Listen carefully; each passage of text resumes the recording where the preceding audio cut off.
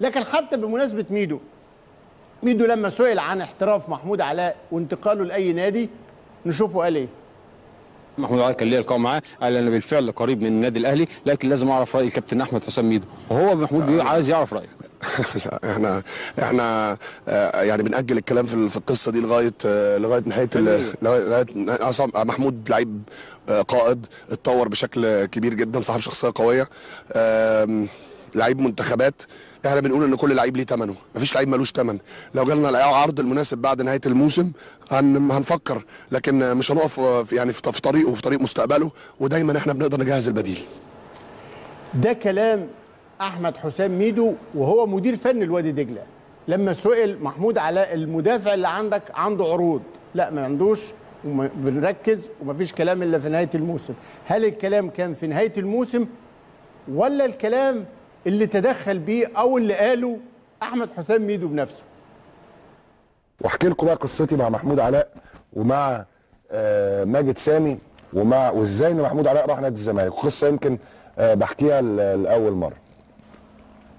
ماجد سامي كلمني قال لي يا ميدو إحنا وصلنا لاتفاق مع النادي الأهلي إن الأهلي هيدفع آه، 9 مليون جنيه في محمود علاء وخلاص يا ميدو إحنا هنكمل الدوري من غير محمود علاء. طبعا أنا كنت عارف إن محمود علاء لعيب مهم جدا ليا وللأهلي لو راح للأهلي. لكن أكيد طبعا أنا كنت أتمنى ان هو يروح الزمالك. قلت له طب يا ماجد آه لو جبت لك عرض أفضل من ال من ال من الزمالك هت هتوافق إن هو يروح ولا لأ؟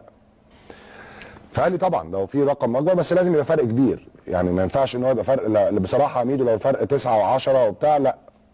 أنا عايز 12 فقلت له يعني لو جبت لك 12 من الزمالك هتخلص؟ قال لي آه خلص. بس اللعيب عايز يروح الأهلي. مهمة مش سهلة مهمة صعبة. وأنا محمود يعني أخويا الصغير وعارفه كويس. المهم كلمنا الناس. كلمت المستشار مرتضى منصور. سيادة المستشار في لعيب عندي اسمه محمود علاء. لو راح الأهلي هيفوق ال defence بتاعهم ال 10 سنين الجايين. قال لي آه، قال لي مين؟ له محمود علاء. قلت محمود علاء لو راح الاهلي هيفوق defence الاهلي عش... هو ده اللعيب اللي هم محتاجينه. مستشار مرتضى يعني إيه بيثق فيا يعني. عارف ان أنا ماليش اي مصلحة جوه نادي الزمالك الا لمصلحه الزمالك. فانا عارف ان أنا كده كده خسران اللعيب أنا خلاص خسرته. فاخسره للزمالك احسن ما اخسره للاهلي أنا بالنسبة لي يعني.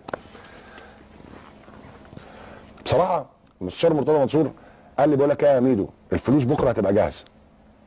كلمت ماجد قلت له ماجد ال 12 مليون جاهزين خلاص بتاع. ماجد طبعا قال لي تمام. خلاص الموضوع مع الزمالك يعني. مفيش مشكلة. يعني ف ابتديت إن أنا أجيب محمود علاء عندي الاوضه محمود علاء خلاص يعني يعني في اتفاق بينه وبين الأهلي. اتكلمت مع محمود وابتديت أقنع محمود ومحمود يوميها بالليل مشي من معسكر العين السخنه راح لمسؤول الزمالك. تاني يوم مسؤولي وادي دجلة راحوا خدوا الفلوس بتاعت آه، من الزمالك وانتقل محمود علاء للزمالك